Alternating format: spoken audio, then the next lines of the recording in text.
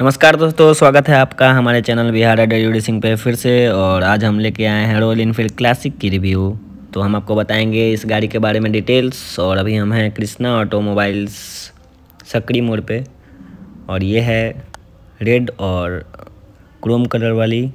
इसमें आपको spoke wheel सब सारी गाड़ियों में सेम ही आती हैं ब्लैक वाली को छोड़ के।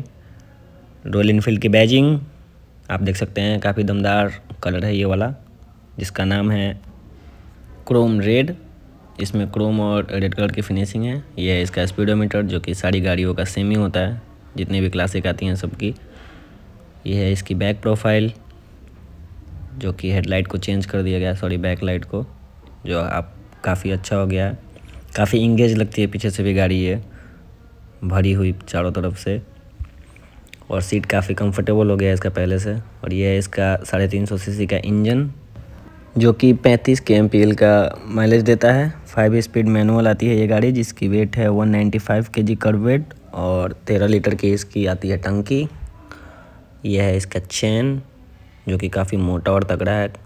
जिसके लिए रोल इनफील्ड जाना जाता है। क्लासिक की बैजिंग फुट पैक्स अब दिखाते हैं आपको गाड़ी की लाइट ये है spoke wheels upside down forks और ये हेडलाइट जो कि अभी भी हेलोजन में ही आती है।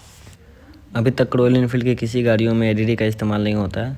यह है पार्किंग डी और इंडिकेटर में भी आपको हेलोजन ही मिलेंगे। आफ्टर मार्केट आप सब चेंज करा सकते हैं। ब्रेक फ्लूड और यह है क्रोम फिनिश्ड मिरर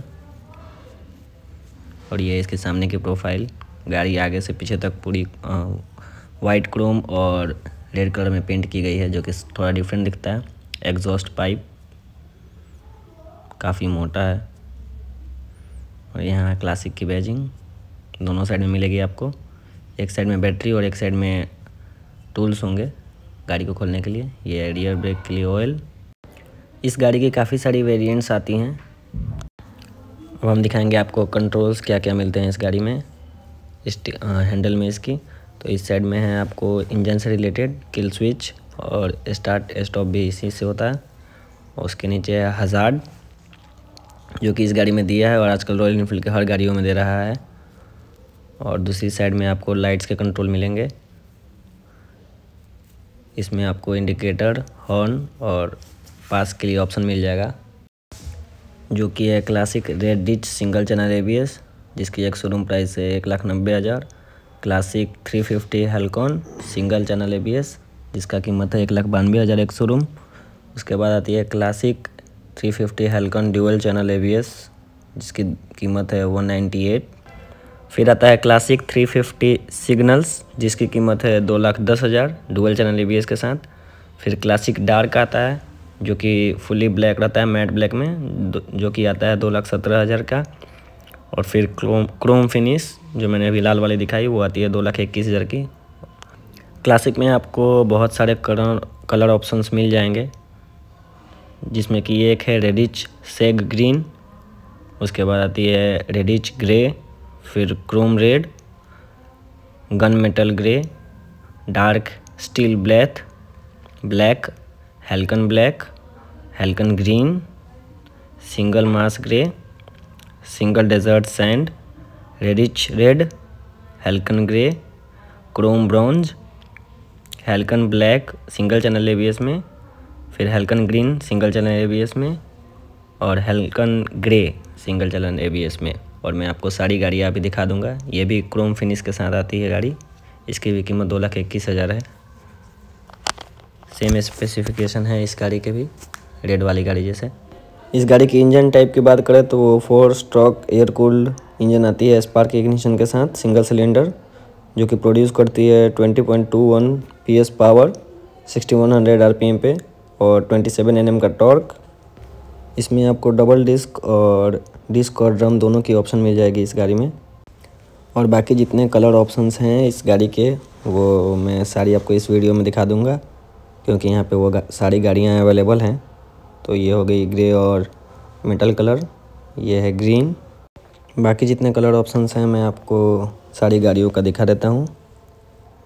आप इस वीडियो को एंड तक देखें, आपको पता चल जाएगा सामने से कैसे दिखती हैं जितनी भी गाड़ियों का ऑप्शन है कलर कलर ऑप्शन है इस गाड़ियों का। Thank you enjoy the video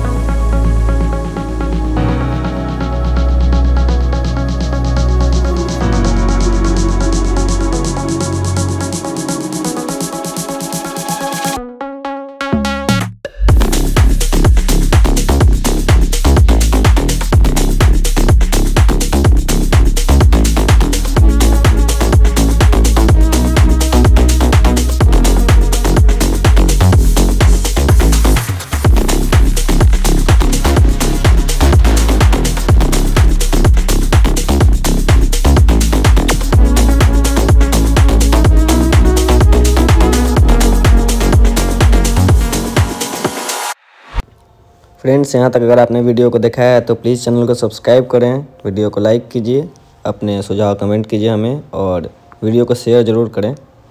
Thank you.